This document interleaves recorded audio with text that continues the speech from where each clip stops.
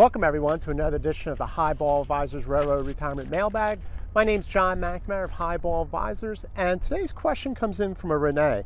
And she asks, what if your spouse is a retired law enforcement and receives a pension after 20 years at 55? How does that uh, tier two affect my retirement when I retire at 62?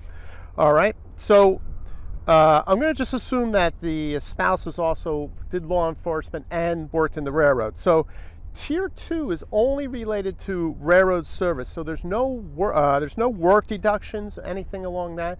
And then when you take the pension part, that would only affect the tier one portion of his railroad retirement, depending upon if it's a non-covered uh, pension or not.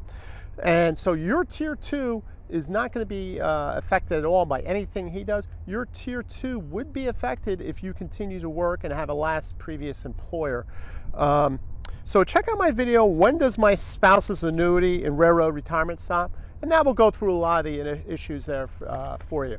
So I hope you found this video helpful. Feel free to send in your questions. And until next time, everyone, please stay safe, stay on track, and take care. So long, everybody. Bye.